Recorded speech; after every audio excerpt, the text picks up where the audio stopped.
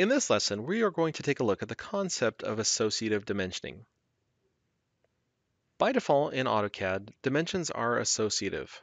This means that if the object changes, the dimensions change as well. For example, if I were to select this object and move it, then we can see that the dimensions go with it. Not only do the dimensions move, they'll also resize. So for example, if I was to stretch the right side of this part out another half inch, you can see the dimensions update even dynamically as I move my mouse. I'll go ahead and type 0.5 and enter, and once more you can see these dimensions updated.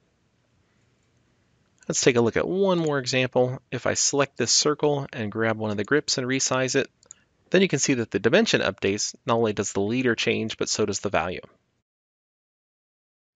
That concludes this look at the concept of associative dimensioning in AutoCAD.